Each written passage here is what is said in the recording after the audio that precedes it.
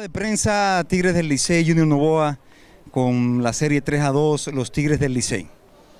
Eh, bien, que bueno, creo que estamos en una, creo que estamos en una buena posición, pero eso, eso no quiere decir, o sea, que, que todavía, o sea, falta mucho béisbol todavía. Nosotros estamos día a día eh, jugando fuerte para ganar cada partido, no pensando en que eh, ya por la posición en que estamos, pues estamos eh, demasiado cómodos. No, día a día hasta ganar el último el último partido. El, acuerdo de, los, de los Tigres de Licey en Twitter habla de que Wins está día a día, pero hay reportes de que estaría fuera el resto de la temporada, de, de la serie final. ¿Cuál es la realidad? La realidad es esa, es día a día, pero eh, uno no sabe si podrá estar en los próximos dos o tres días, que es lo máximo que vamos a, durar eh, para finalizar lo que es el playoff final.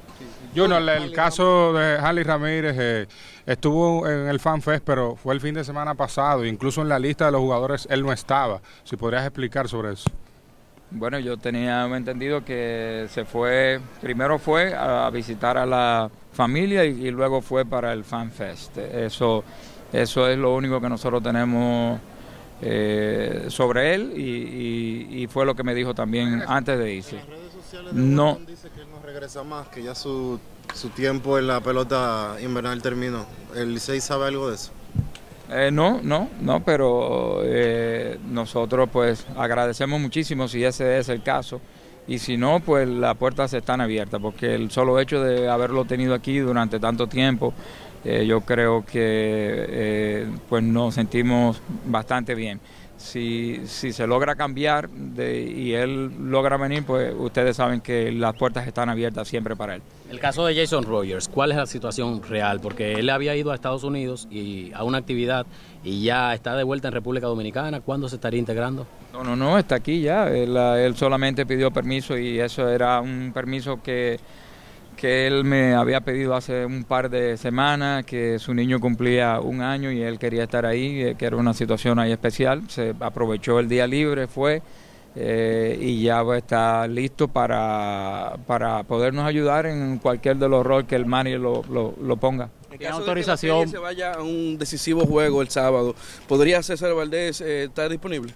No solamente César Valdés, iba a estar todo el mundo disponible para, para lanzar en ese, en ese partido. La situación de Ramón Santiago, este boricua que no hay duda que ha estado muy por debajo en esta serie final. Mario Santiago, perdón, Mario Santiago. ¿Cuál es su estatus realmente? ¿Sigue la rotación?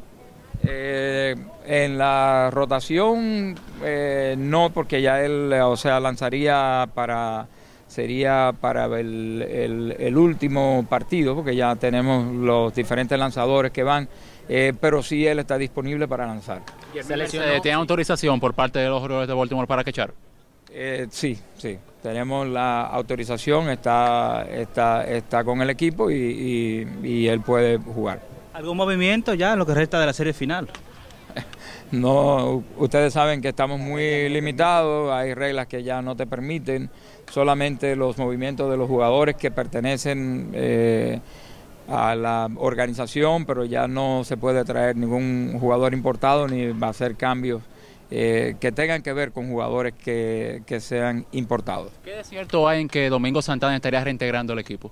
No, esa es la primera vez que lo, escucho porque tengo entendido que, que, si no se hizo la, la, pequeña cirugía, pues él no, él no regresaba más. Sí, ¿Cómo tú podrías definir lo de este muchacho Solano? Eh, perdón, lo de Alcántara, Sergio Alcántara. Realmente ha sido, bueno, para mí ha sido un trabajo tan brillante que ha hecho olvidar a, a, Ibar. ¿Cómo tú lo defines? Bueno, no es que ha hecho olvidar a Eric, que Eric siempre estará, estará siempre presente, ¿verdad? Pero sí, ha tenido una actuación magnífica.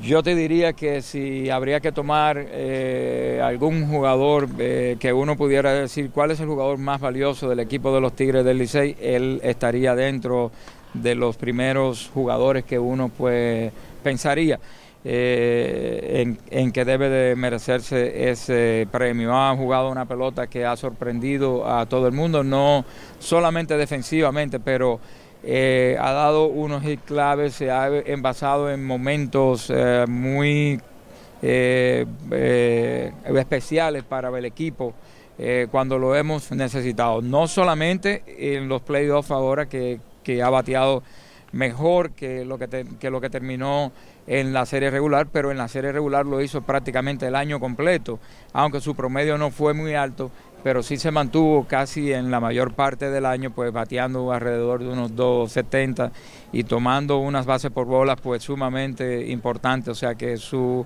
on base percent eh, fue clave también para que nosotros pues pudiéramos tener una serie regular buena. Entonces, eh, la receptoría, Jonathan Solano, que lo vi tomando práctica de bateo, eh, Jonathan Solano está bien. Jonathan podrá estar bien, pero no puede jugar porque Jonathan ya fue sustituido.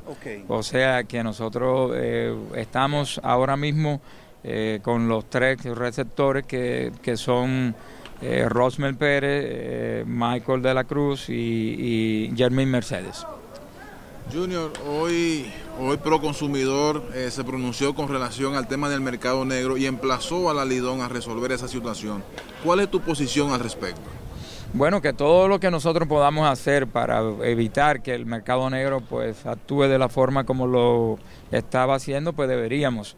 Deberíamos de aportar todos eh, y hacer una investigación de ver el por qué eh, está pasando eso y el por qué el mercado negro tiene esa cantidad de, de taquillas. ¿Por qué, por qué el cambio de, de Johan Flandes y, Evan McLean para hoy y Flandes para mañana? Eh, bueno, eso fue una decisión de nuestro pitching coach, el cual nosotros compartimos. Eh, creo que McLean está más acostumbrado a lanzar aquí en este parque. Flandes ha lanzado bastante bien en Santiago. Y son cosas que uno pues mira todo ese tipo de estadísticas y entonces pues procede a, a hacer esos cambios. ¿Quién tiene la pregunta? Eh, Junior, eh, llama la atención que el Licey, habiendo recibido cinco blanqueadas durante el round robin, se encuentra en una posición cómoda, con tres victorias y dos derrotas en la final. O sea que ni siquiera se esperaba que pasara a la final. Y yo creo que en el historial de la- del round robin no está registrado que un equipo que haya recibido cinco blanqueadas haya pasado a la final. Puede sumarle las, las otras ocho y son 13 y no solamente eh, clasificamos bien, sino que en el round robin pues también y esperamos pues hacer lo mismo ya para ser campeón, no importa la cantidad de blanqueadas que hayamos recibido anteriormente porque ya no vamos a recibir más. Gracias, Junior.